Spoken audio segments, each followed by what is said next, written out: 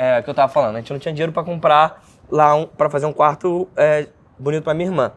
Então a gente queria só pintar a parede, mas nem pra pintar a parede tinha dinheiro. Então o pastor se ofereceu pra ele, pagou, ele foi e pintou a parede da minha irmã de rosa, então ficou mais bonitinho o quarto, ficou rosa, já, já, já ficou melhor, sabe? É, E nessa outra igreja que eu fui, esse pastor não orava ninguém. Porque ele era muito velhinho, ele não conseguia nem andar direito. Eu não sei se o nome é pastor, né, do que ele era. É, mas ele era tipo o líder lá da, da, da igreja. Levava nada. Levava nada da igreja. É, é, só dava prejuízo à igreja. É, e ele chegou pra mim, eu nem tinha sacado meu primeiro dinheiro ainda, mas eu já era milionário, tá?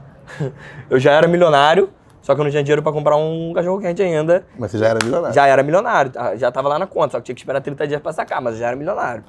E eu não queria sacar sem fazer nada errado, sempre tive esse medo. Então eu tive que procurar contador, não entendia nada, tive que meu Empresa, pai que pagar entendia. imposto bonitinho. É, que tinha que emitir nota, tinha que não sei o que antes sacar. Aí o o o pastor, eu senti Deus falando pra eu ir lá pra ele me orar. Aí ele me orou, senti uma parada diferente ele orando, porque você sente quando é diferente.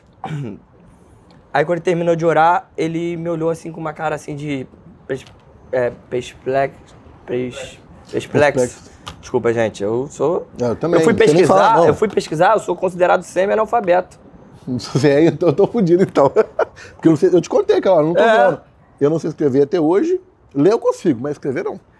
Eu, eu sou muito ruim de leitura também, mas é, é, eu sou É TDAH, é déficit de atenção, um tanto de coisa que eu tenho também. Não, eu não tenho TDAH, eu só tenho déficit de atenção, porque TDAH, déficit de atenção, de, É um tanto de de- é de- um coisa de hiperatividade. É isso aí. Ah, o pastor me orou, aí ele me olhou com uma cara de assustado.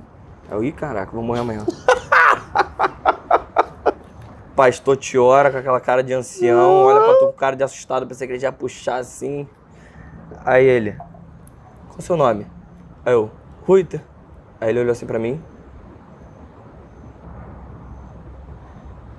Ele é o que eu não posso te falar, mas você não tem ideia do que você vai fazer na sua vida. Aí eu, como assim?